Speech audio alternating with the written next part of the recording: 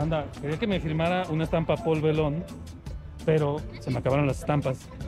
Voy a tener que usar una alternativa. Vénganse. Paul, Paul, Paul.